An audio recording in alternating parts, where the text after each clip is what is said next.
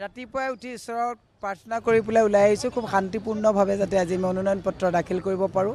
সন্মুখত যিটো বৃহৎ ৰাজনৈতিক প্ৰত্যাহ্বান আপোনালোকে দেখিছে আজি মোদী ডাঙৰীয়াও আহিব বেৰিকেড লগোৱা হৈছে। জনসাধাৰণক বেৰিকেড দি আবদ্ধ কৰিব পৰা পৰিস্থিতিৰ ঊৰ্ধত যাতে আমি এটা মূল্যবোধৰ ৰাজনীতি দিব পাৰোঁ।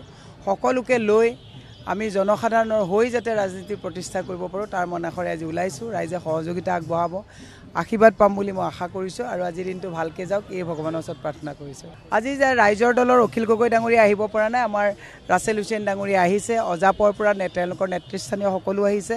আমাৰ বাকী আৰ জে ডিৰ পৰা আহিছে C P I C P M আপোনাৰ এন চি পি যিমান আমাৰ পোন্ধৰটা সহযোগী দল আছে প্ৰত্যেকজনেই প্ৰত্যেকটো দলৰ পৰা আহিছে। অজিত ভূঞা ডাঙৰীয়া আহিছে। অল ইণ্ডিয়াৰ আমাৰ মহিলা সভানেত্ৰী আলকা লাম্বাজী আহি ইতিমধ্যে যোৱাকালি আহি উপস্থিত হৈছে।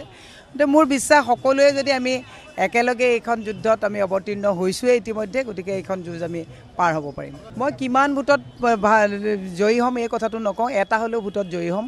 ৰাইজে বুজি পাইছে যে সাম্প্ৰতিক সময়ত মই আপোনালোকক বাৰে প্ৰতি ক'লোঁ আজি নৰেন্দ্ৰ মোদী ডাঙৰীয়া আহিব তিনিটা বজাৰ পৰা ৰাতি দহটা বজালৈকে। জি এছ ৰোডৰ ইমান ব্যস্ততাপূৰ্ণ ৰাস্তা এটা বন্ধ কৰি দিয়া হৈছে য'ত আমাৰ ৰাহুল গান্ধী ডাঙৰীয়া আহোঁতে সোমাবলৈকে নিদিলে।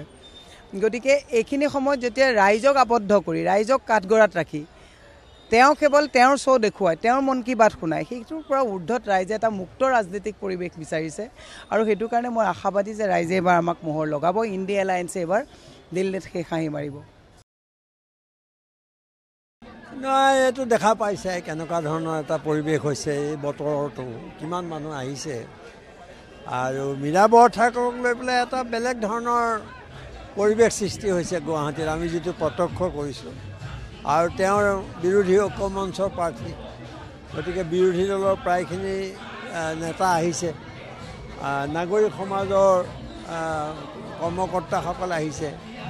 গতিকে মই আশাবাদী যে তাইৰ দৰে মীৰা বৰঠাকুৰৰ দৰে সাহসী আৰু কি কয় দেশপ্ৰেমী এগৰাকী মহিলাই গুৱাহাটীক প্ৰতিনিধিত্ব কৰাটো খুব প্ৰয়োজন। ইয়াৰ আগতে যিসকল আছিলে মানে যোৱাবাৰ তেওঁলোকক চিনি পোৱাটো বাদেই বহুতে নামেই শুনা নাছিলে দিল্লীত। গতিকে মীৰা বৰঠাকুৰক মই ইয়াত পৰা জিকাই পঠোৱাত গুৱাহাটীবাসী ৰাইজে ভুল নকৰিব বুলিয়ে মোৰ বিশ্বাস। তেওঁ গোটেইটো চৰকাৰী যন্ত্ৰ ব্যৱহাৰ কৰি পেলাই কৰে। তেওঁলোকে বাছবোৰ অধিগ্ৰহণ কৰে মানুহ আনে পইচা দি পেলাই মানুহ আনে। গতিকে তেওঁলোকৰ ৰোড শ্ব'ৰ লগত এই ৰোড শ্ব'ৰ সম্বন্ধ নাই। প্ৰধানমন্ত্ৰী আহিব। গতিকে হিমন্ত বিশ্ব শৰ্মাই তাৰ কাৰণে তেওঁ চাকৰি ৰাখিব লাগিব। গতিকে তেওঁলোকে গাড়ী অধিগ্ৰহণ কৰিছে বিভিন্ন ঠাইত। এইবোৰ মানুহ আনিব কৰিব এটা শ্ব' কৰিব।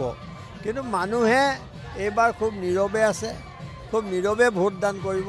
অন্যায় অবিচাৰ দুৰ্নীতি ভ্ৰষ্টাচাৰ যিবোৰ হৈছে তেওঁলোকৰ দহ বছৰত সেইবোৰ ৰাইজে লাহে লাহে গম পাই উঠিছে।